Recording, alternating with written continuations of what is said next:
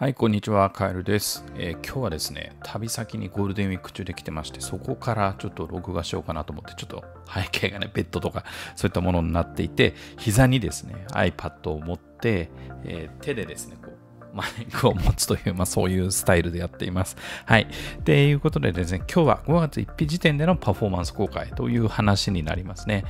いやもう今日実は5月5日、6日かな？はい。あの、もうすごいですよね。もう乱高下がね。はい。見てても何もしないでおこうって思わず思ってしまいましたけれども、そういう状況です。で、今日はですね、5月1日時点で4月のその ETF とか投資信託個別の状況ですね。まあそういったことまああの投資信託、米国 ETF、日本株、後輩とエリートとかに投資しているので、まあそれがどんなパフォーマンスの状況だったかというのをですね、ちょっと紹介したいなと思います。で、おまけコーナーはですね、10年ほど前に行ったちょっとマレーシアのランカウイ島っていうすごいいいところですね。はい、そこの紹介をしたいと思います。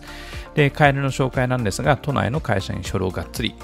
住宅ローンを持っているということでね、あのファイヤー目指す人にとって、住宅ローンなんて、なんて思うかもしれないんですけどもね、はい。まあ、いろんな、はい、銘柄に投資していて、今日はこの内容について紹介になります。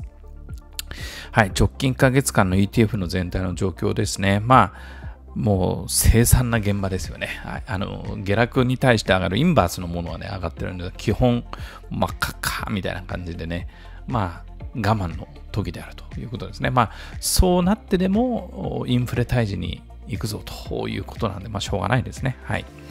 で、あの、年初来の帰りの保有の状況ですね。まあ、いやーって書いてありますけどね。はい。まあ、左上が日本株ですね。はい。で、右上が米国 ETF ですけども、まあ、あの QLD ですね。あの、買えるレバナス持ってるんですが、あ仮想的なあレバナスとして QLD2 倍、ナスダック100の2倍レバレッジかかってる。もうすごいマイナスですよね。で、左下が債券も、債券はもう、むちゃくちゃ下がってますね。あの、最近見ないぐらいのもうパフォーマンスの悪さですと。で、右下があリート系ですね。はい。まあ、リートはですね、こうちょっと年初来で上がっていってんですね。はい。まあ、そういった形でどこからかこう資金が流れてきているのかなという感じですけれども、はい、全体的にこういう状況ですと。で、えー、資産の状況全体はこんな感じですね。これ 7, 7月1日を100%として、わーっとこう来てると。まあ、3月以降ね、あのちょっと右肩上がりで上がったんですけれども、はい。まあ、含み益もあるんですが、サイト配投資とか、あと積み立て投資とか、まあ、そういったものが多いのかなという感じですね。まあ、今すごく安くなってるんで、ちょっと生活防衛資金で株買っちゃおうかなっていう、こういうやばい誘惑があるんですが、まあ、それはちょっとないようにしようかなという感じですね。はい。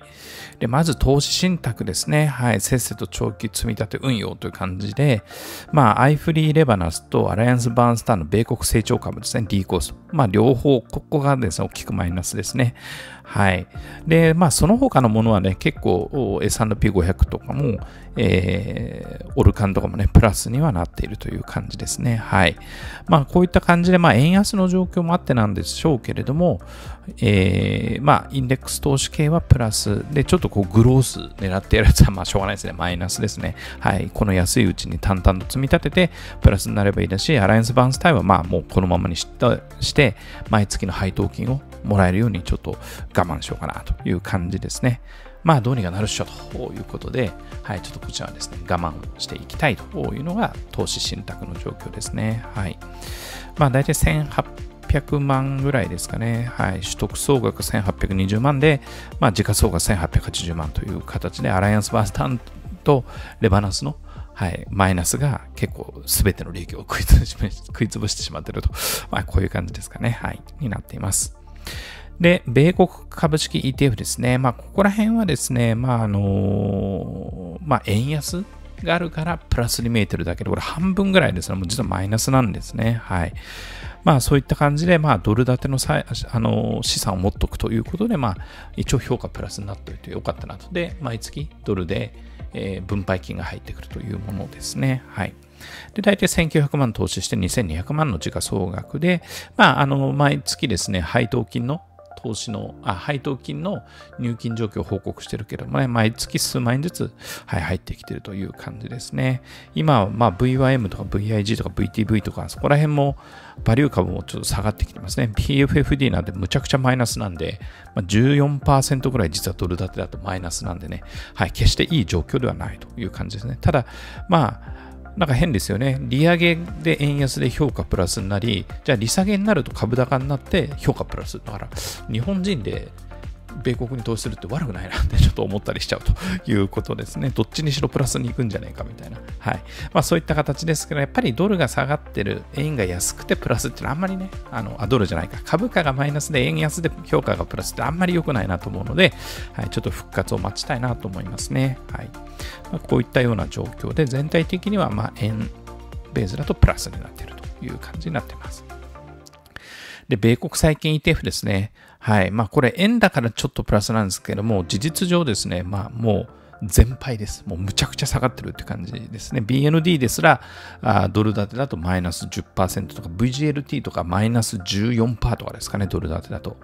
VWB もマイナス14%ぐらいいってるという感じで、はい、まあ債券はですね、守りと言いつつ、やっぱり利上げの局面には現金で預金した方が良くなってきちゃうと。はい、という形もあって、長期金利も今、米国上がってるので、まあ、かなりやばいこうマイナスの状況ですね。はい。ただまあ、そうなると利回りがまあ、良くなってね、あの、買い時がちょっと来るんじゃないかなと思うので、まあ、ここはですね、よくよく注意をしながら、はい、見ていきたいなと思いますね。はい。まあ、そういったような形になってます。で、日本株ですね、高配当株を買っております。はい。まあ、10銘柄プラスマザーズの2銘柄という形で、はい。一番下2つのマネーフォワードとか、あとはフリーはですね、マイナスですね。フリーなんてもうこれ本当はもともとは損益通算する前は100万円で買ってたんで、それが今37万円になっちゃってるから、まあ、ちょっと超マイナスですね。はい。まあ、そういったような感じになってます。で、えー、まあ、それ以外の CDS とか、バルカーとか、武田とか、上の方はね、あの、まあ、コロナショック明けの安い時に買ったから、まあ、結構プラスになってくれてて、ここがね、含み益支えてくれてるんで、まあ、安い時に買った大型の日本株のやつっていうのは結構持ちこたえてくれてるなと思うので、はい、あの、これはですね、あの、米国一辺倒ではなくて日本株買っておいてよかったなと思います。まあ、6月になったらドカーッと配当金も入ってきてくれると思うので、まあ、すごく楽しみだなというような、はい、感じですね。はい、一番下に書いてあるのは JR 九州の株持ってるんですが、あの、配当金もらえるんですけれど、あの、九州めったに行かないんで、使い道がないっていう問題があるんですね。はい。まあ、なので、年に1回は九州旅行と思うんですけど、なかなか行けなくてね、JR 九州の優待券使えなくて困ってると、はい、いう、そういう感じになっています。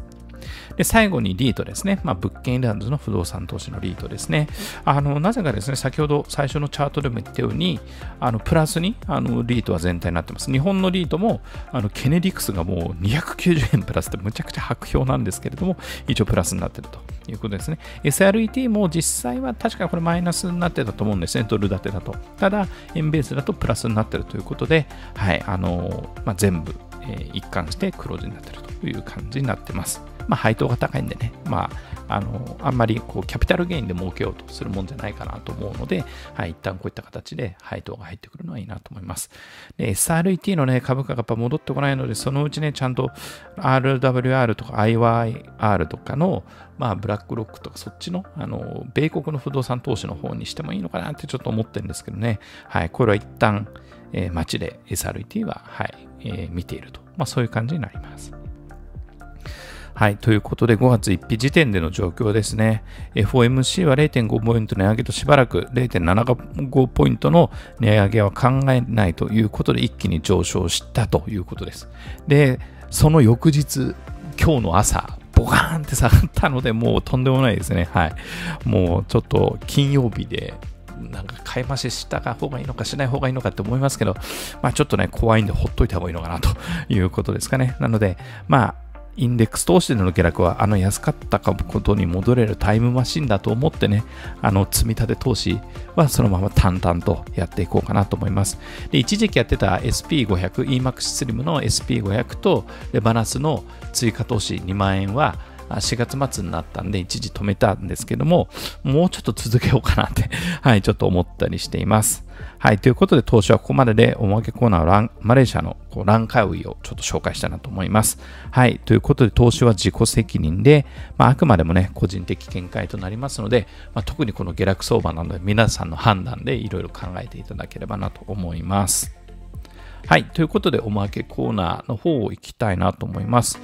あの、これはですね、2012年12月31日から2013年1月1日ですね、ちょうど正月またいだ時の写真とかも混ぜています。はい。で、クアラルンプールに、まあ、もっと早くから滞在したんですね。クリスマスぐらいから滞在して、1月1日にランカウイで数日泊まって帰ったというものです。はい。えー、まあ、ランカウイじゃなくて、クアラルンプールはね、そのペトロナスツインタワーの目の前のホテルに泊まって、こう、花火とかで、ハッピーニューイヤーを祝ってカップ麺で年越しそばを食べたというようなそんな思い出があります。で、その翌日ね、ランカウイ島に行って、まあ、こんな部屋ですね。なんかこう、ビラみたいになってて、あの、一個一個が一軒家みたいになってて、隣と壁で仕切られてて、こうお庭があってと。まあ、そんなような、はい、ホテルでしたね。はい、あの、部屋の中もこう、ちょっとさっぱり綺麗めな、はい、いいホテルではありましたね。はい。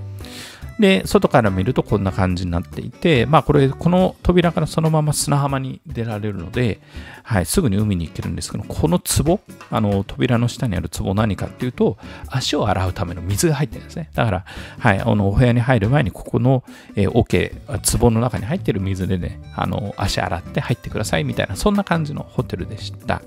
はい、あの、ランカウイ島の前はね、あの、マレーシアから左かな、あ西の方、かな？西側にあるのかな？はい。という形で海が見えて、島が見えてね、みんなあの砂浜でビーチパラソルやったり、こうウィンドサーフィンやったり、マリンスポーツやったりで、まあ、結構ね、のんびりして楽し。めるような海なんですよね。で、やっぱりこうランカウイというと、やっぱりこう海産物です。マレーシア海産物多いですね。こういった形でこう魚とか街中出ると魚とかエビとかをこう、えー、こう氷の上に置いてあってね、これ焼いてくれとかっていうとこ焼いてくれるような、そういったお店が多かったですね。で、まあ、こんな感じで、はい、揚げてもらって食べて、やっぱり海産物はね、マレーシアめちゃくちゃ美味しいですよね。こう、味付けも中華風だったり、タイ風だったりして、はい、いろいろミックスされるので、すごくカエル好みのはい、味に仕上がってて、すごい美味しかったですね。でね、なんかね、こう、ランカウイ島のこのホテルなのかしらない、ランカウイ島猫多いんですよ。で、なんかおみ家の前にこう猫がやってきてね、なんかこう、すごく人に慣れてて、なんかこう、そばに近寄っても、あんま逃げずに、なんかこんなおじさんみたいな座り方してリラックスしてて、なんかなんじゃこいつって思ったんですけどね、はい。こんな感じでこう猫がね、結構いるんですよね。はい。はい、こんな感じでいろんな猫がね、壁の上で待ってたり、玄関の下に待ってたりするという、そういう場所でしたね。なんかね、猫好きの人にはいいんじゃないでしょうか。はい。で、あの、ランカウイって結構島になってて、あの、なんていうんですかね、マングースじゃなくて、なんだっけ、あの、ジャングルみたいになってんですよね。で、こう、ボートで、これ、かなりね、寒気に近かったから、川の水があ減ってしまっていて、あの、水かさが減ってしまっているんですけども、このボートでね、えー、行くと、えー、これ名前なんだっけ？忘れちゃいましたね。なんかありますよね。マングースじゃなくて。はい。こういうこう足の長い根っこが長い木がね、あの、たくさん生えていて、はい。こういったところがありまして、この間をね、はい、カヤックで、あの自分で進んでいくって思うやつでしたね。あのこうカヤックこいであのマングローブだ。マングースですね。マングローブの間を、はい、あの進んでいくってすごく楽しいアクティビティがあって、はい、あのこの川の上流の方からかな下流の河口の方まで、はい、あのマングローブの中ジャングルの中を行ったりしてですね、えー、行くという形でこうアクティビティも結構ランカウイは楽しいところでした。でナイトマーケットもあってねいろいろこう買い食いしてあのなんかこう汁物とか焼きそば食うとビニールに入れてくれるんですよね。はいそれを持ち帰ってホテルで食べたりしてましたよという感じでした。はいこんな感じで、はい、やっぱりナイトマーケット楽しいですよね東南アジアのはね。はい。ということで今日あ今日紹介したランカウイはここですねはいマレーシアシアのちょっと左側ですね。左下にはインドネシアがあって、上に、まあ、あの、バンコクが北の方にあるので、はい、あの、その下の方、クアラルンプールよりもちょっと左上の方ですかね、にあるようなところでした。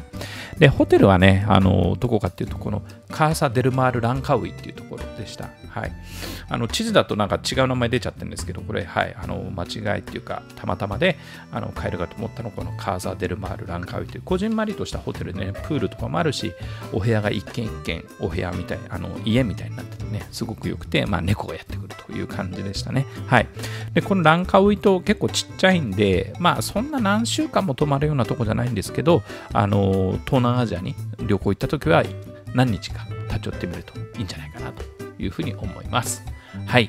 ということで本日は、はい、宿泊先から以上となります。あの、もしね、内容良ければいいねと、ぜひすいません、チャンネル登録の方、まだまだ少なくて、えー、ちょっと苦しんでおりますので、よろしくお願いいたします。はい、以上です。ありがとうございます。バイバイ。